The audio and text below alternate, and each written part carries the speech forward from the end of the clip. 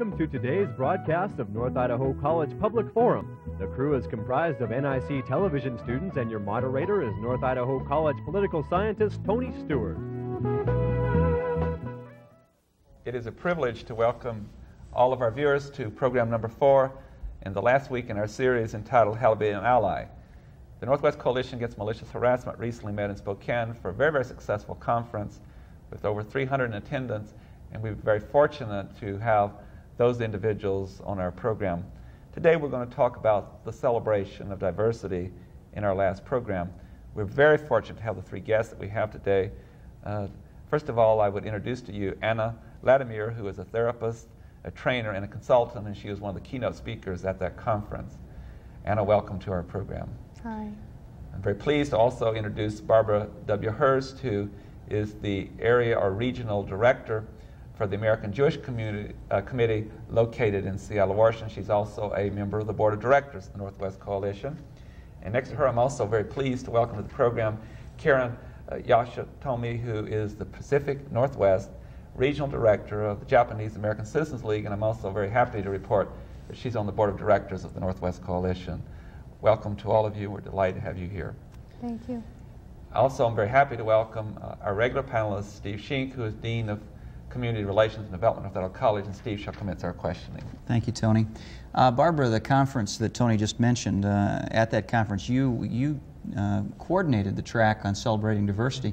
Maybe by way of introduction, we could ask you to give us some of your impressions of that conference um, and some of the thought that went into choosing that theme.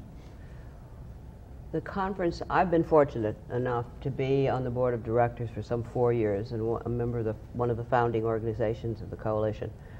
I attended that first conference in Coeur d'Alene some four years ago, and it was a, a very exciting conference, and it was fun and exciting to meet uh, people of goodwill who came together to talk about diversity and, and uh, what to do about bigotry and discrimination. But there were a handful of people by comparison. And lo and behold, four years later, we have a, a board of directors that uh, we're going to have to move out of our rooms or, or have two tables because there are so many organizations and individuals now represented on the coalition. There are over 300 people in attendance at the, at the uh, uh, coalition meeting, all spellbound, all caring, all looking for tools, uh, those tools that they can pay, take back to their own communities in order to um, combat bigotry and work toward an appreciation of cultural diversity. Um, that particular track that I've been coordinating um, speaks to the issues of, of uh, contributions of various ethnic and uh, cultural communities within our country uh, who, and their contributions to the fabric and strength and, and, uh, richness, really, of the uh, United States. Karen, I believe you're also a member of the, of the uh, board of directors of the coalition. Uh, Barbara talked about the growth of that organization. In your opinion, is that, uh, is that a result of the successes it, it has enjoyed? Is it a result of uh, increased awareness of the problems of, uh, of uh, prejudice and bigotry, or both? I think it's a, a, factor of both of the, the reasons that you mentioned. Um, I think, however, there's also a great need um, in this day and age, and unfortunately, to have an organization, organization like the Coalition because of the rise in, for example, anti-Asian violence, uh, rise in bigotry, um, bias crimes. Um, it's a shame, and yet an organization like this, it's, it's necessary to have to combat that. And Anna, I think as a speaker at that, at that conference, you talked about some of the effects of the violence that Karen just mentioned. Could you tell us a little bit about that?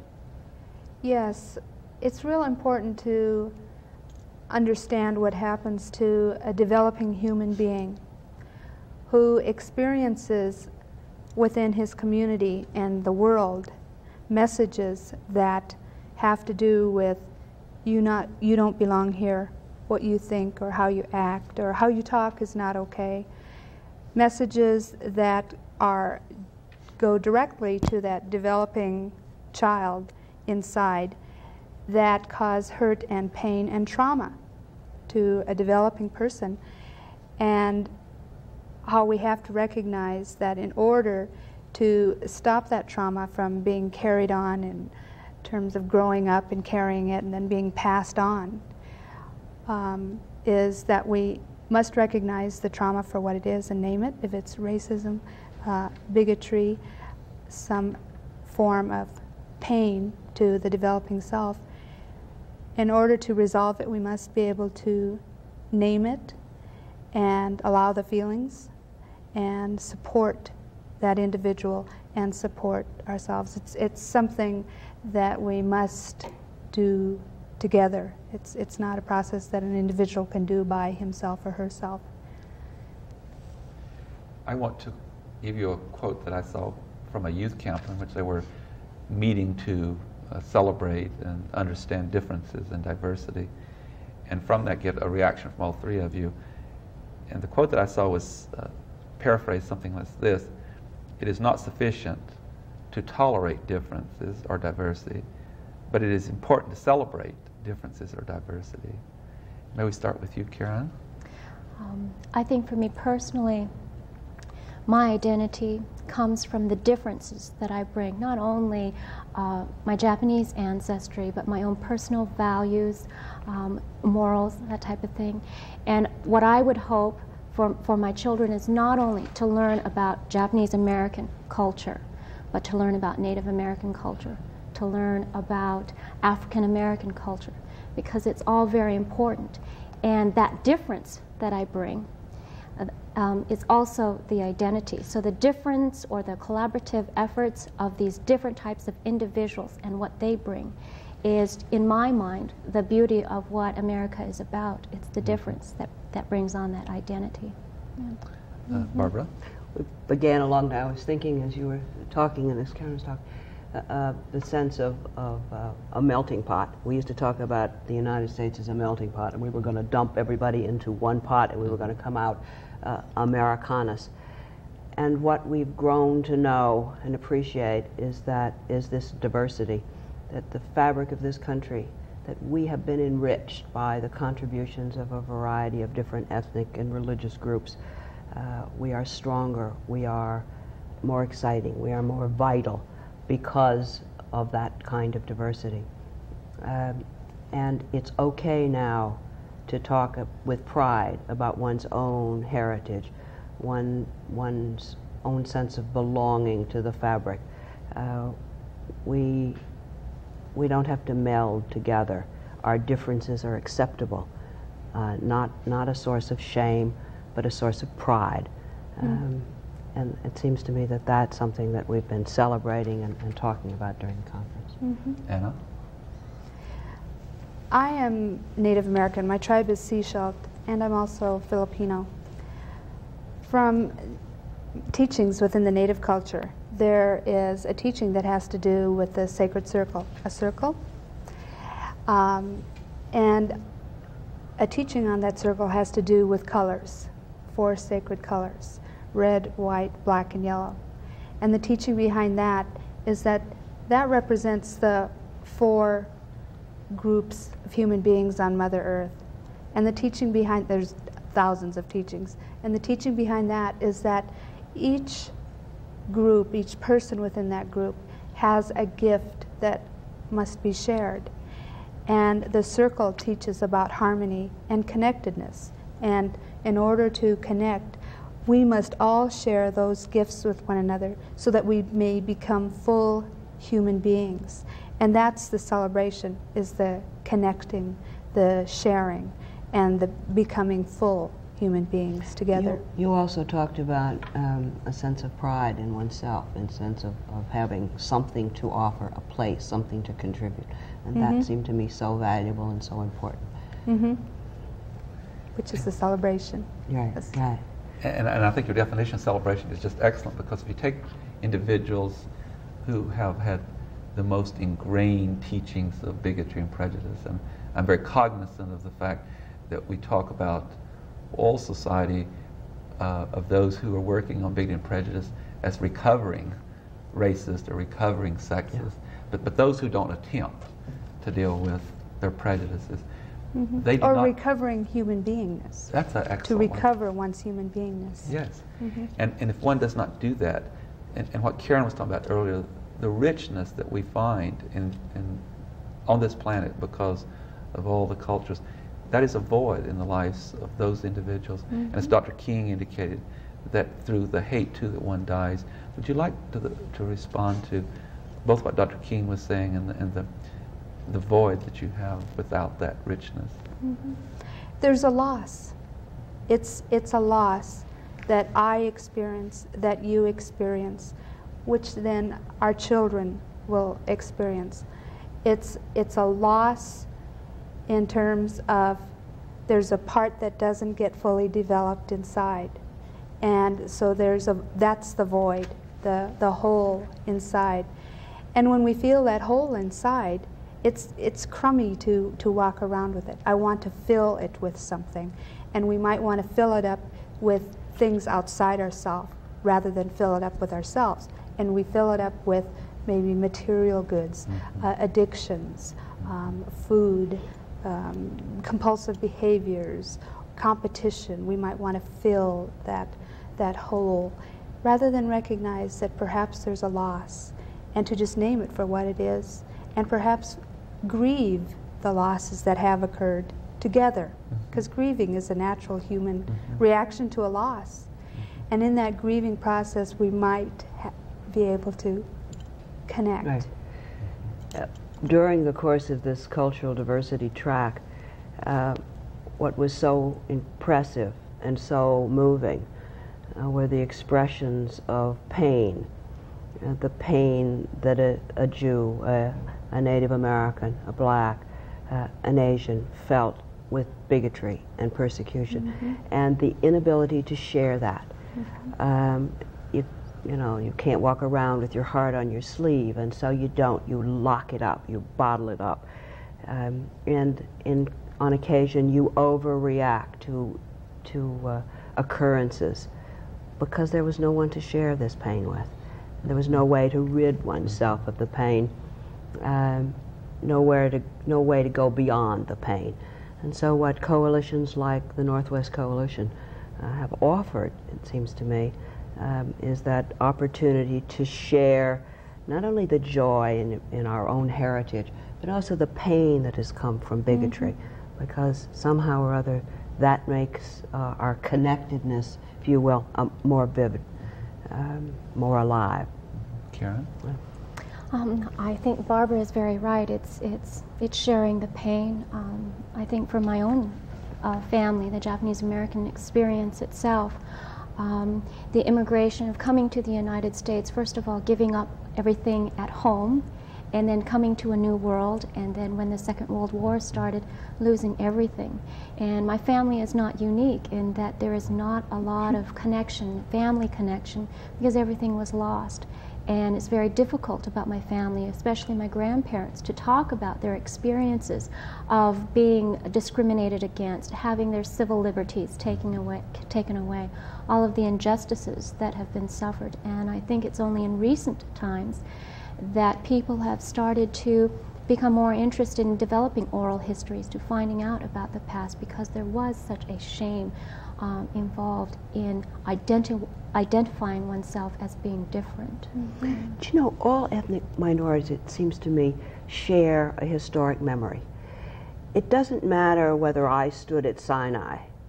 Uh, my people stood at Sinai, mm-hmm. and so I share that experience it doesn't matter whether I was a part of the Holocaust. Uh, I share the pain of the Holocaust. It's part of me. Mm-hmm. Um, and I'm sure with you and the, and the internment, that's very vivid and that will shape your psyche and that of your children and forevermore. And we need to be able to share that kind of. One thing I am mm-hmm. so delighted that a lot of us had a part in four years ago was the coalition, because I hear that, and Barbara was. Uh, expressing that to just a moment ago, that if the coalition died today, and I don't think that's going to happen, Barbara has indicated, you know, of course it's not. real growth. It's, it's really, really, really blossoming. But if it did, the sharing that goes on, or even without the coalition, now that these interconnectedness have been made here in the Northwest, life is different because of it, isn't it? Mm-hmm. The coalition has provided a resource, uh, an experience, not only a resource, but an experience that if we can translate it into our own communities, uh, bring it alive, there. Um, what a wonderful experience that would be. What a wonderful contribution. Steve Sheen. I'm, I'm wondering as I sit here and listen to this conversation, um, and our topic today is celebrating diversity, do you three feel that that is a natural thing for people to do? Um, in other words, if, uh, if, if we had someone who had been isolated from diversity, been, been with people of the, of the same race and the same background, the same customs, all his or her life, and was suddenly moved uh, into a multicultural environment, is it natural for them to celebrate that, or would they feel threatened by it, and is, is there a great deal of stress involved for some, for some people in learning to do what we're talking about today? It's sort of your business to. In- Uh, the faces look this way. Going to give you first crack. Initially, yes. If we just if we just put it into um, the human experience of when we meet someone new. For instance, if we just think of our mate, um, I'm happy to be thinking of him right now. When I, I first met him, and there certainly was uh, a wonderfulness to noting the differences. But as we began to, to know and get to know each other and identify differences, that it does cause a stress uh, because I notice that it's, it's different than how I might think or how I might feel or how I view something, and it causes a, a stress. And it isn't good or bad. I think that that's the natural process of when we become aware of something new. It catches our attention and it pulls us into viewing it and feeling it, and it feels a little bit uncomfortable. If we stay in there and hang in there with the stress, something beautiful occurs, which is back to uh, connecting. And in terms of my husband and I, we've been together for over 20 years, and at our last anniversary, he shared with me that it's been wonderful getting to unknow you. And that was so beautiful to me because we, we enter relationships thinking we know the other person or we, we know everything ab- uh, about people who we think are similar. And we don't. We truly don't. And if we allow that stress of allowing someone to emerge, it, it turns into a, a wondrous occasion to celebrate. You know, it's a, it's a question of in and out, I think. Um, we are the in group, whatever group, and, and all of those strangers out there. And then we move out, we take those steps out, and we reach out and scary. But we, we do it and we make connections and they've been valuable for us and we begin to know and to appreciate. And then we're frightened again because what if we say the wrong thing? What if I use a, a term that is a derogatory term and I don't know that? So then we, we retreat back into our little shell sometimes, um, afraid to continue the, the adventure, the journey. And then, uh, as Anna said, then at the end of that journey, or maybe the journey never ends, as you've said, uh, we are, we, we feel enriched, uh, we feel blessed that we were given this opportunity, and a little sorry for those people who don't have that kind of experience. And maybe that makes us more sensitive to the bigot as well. Uh, how unfortunate. Takes away some of the rage, maybe. How unfortunate that he or she doesn't have, hasn't had that opportunity. Karen, how is the task force helping people to see that perspective? the task force. Um, I think one is that it brings on an awareness that everyone, with the exception of the Native American, comes from an immigrant background, and that the people that came over on the Mayflower were boat people like the Southeast Asians are boat people. Um, and I think it's that realization in a non threatening manner that it provides the forum and the opportunity for people to ask questions and not to feel uh, defensive about not knowing the answers. In my particular workshop that I conducted on Asian Americans, I gave a, a short self test. And perhaps I phrased the question a little bit incorrectly in, in that I asked how many people were surprised at how poorly or how well that they had done. And no one ra- raised their hand, and I thought it was because everyone knew the answer. But it was because everyone in that room was educated enough to know that they didn't know the answers, and so therefore were not surprised. But they were still open and receptive to, to the information that I had to share with them. Hmm. I've been sitting here hearing what you're saying, and I also been experiencing uh, through the years what we're dealing with in, in our diversity. And I, I just share a personal experience and reaction, and then uh, to relate to something you've said. I'm a very different person than I was a year ago, or four years ago, or ten years ago. And I'm very happy that I am. That I'm a, I'm a more expanded, full person in, in, in, in, my growth, and it will never end. Mm-hmm. But for those who don't, and those who uh, reject diversity, and they're filled with the prejudice and bigotry, I heard Barbara saying that in one way they are victims, aren't they? Although they victimize other people. Right. How would you respond to that? I think more and more it's going to be less and less possible to uh, shut oneself out off from the rest of society.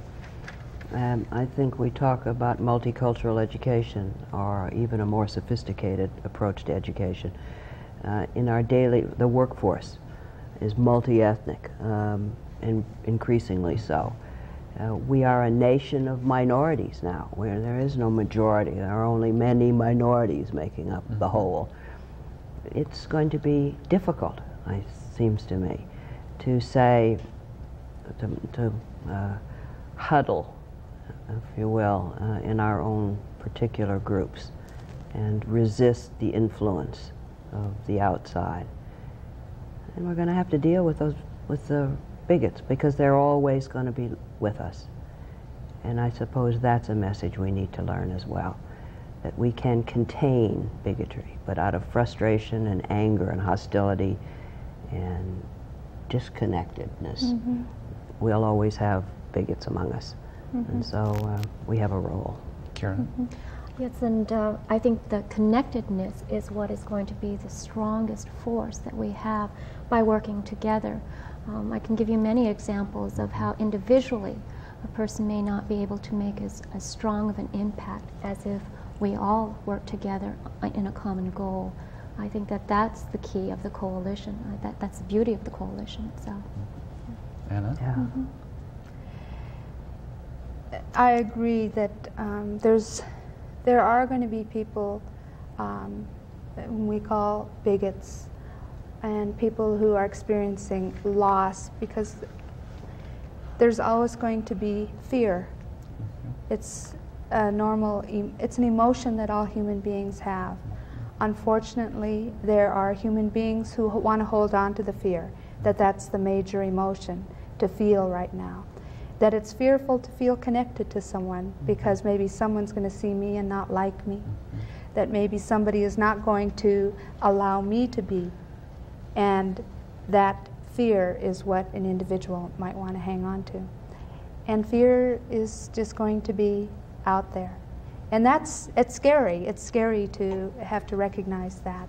Um, but it's, it's just there, and it shows itself in many, many forms, mm-hmm. and a lot of the forms are scary. Mm-hmm. Steve? Barbara, you said something that I thought was very interesting a minute ago when you said that, that uh, bigotry and prejudice are always going to be out there.